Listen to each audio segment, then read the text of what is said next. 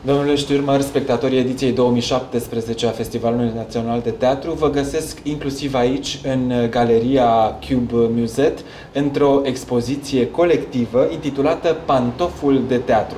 Sunteți alături de colegii dumneavoastră de Doina Levința, de Elia Manțoc și de Dragoș Buhagiar. Este posibilitatea noastră a scenografilor de a, de a trece de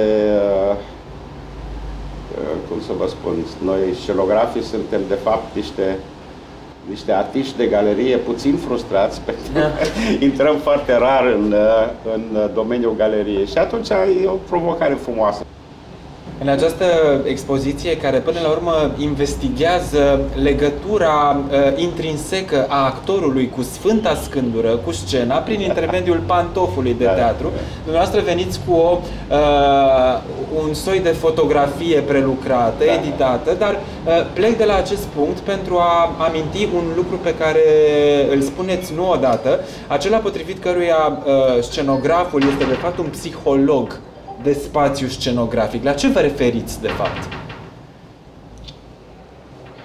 La ceea ce este în spatele textului și nu se spune. Da. Adică interpretările gândurilor și al autorului sau gânduri care uh, sunt uh, vin din partea din partea uh, interpretării textului unui text dramatic. În orice an se joacă o piesă sau un text el depinde de, de, de starea, starea de moment, a lumii, al omului, al tot.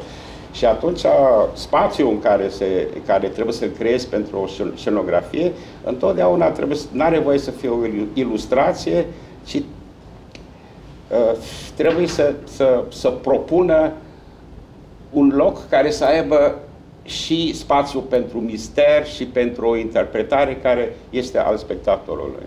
Deci, în sensul ăsta, adică scenografia este uh, patul lui Freud pe care stă publicul. Da, foarte, foarte interesant și, da. și uh, plastic spus. Ați făcut scenografie atât pentru mari spectacole de teatru, cât și pentru filme. Evident că paradigma este alta, uh, ochiul camerei de filmat este un alt tip de privire decât privirea spectatorului, care de multe ori este unidimensională, dar în afară de aceste uh, diferențe, aș fi vrut să aflu de la dumneavoastră ce alt tip de punere în scenă reclamă din partea dumneavoastră filmul?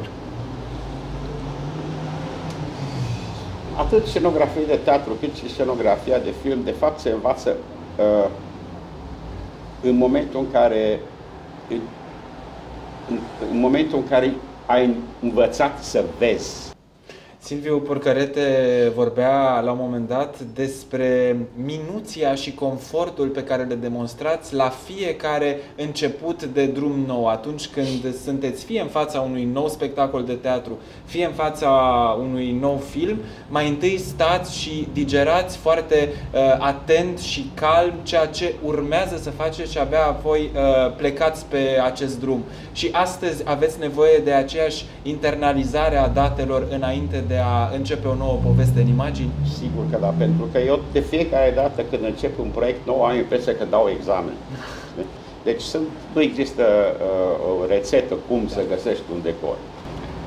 Două spectacole în scenografia dumneavoastră sunt uh, prezentate la această ediție a Festivalului Național de Teatru, Procesul, Teatrul Național Lucian Blaga din Cluj-Napoca și Deșteptarea Primăverii, Teatrul German din Timișoara.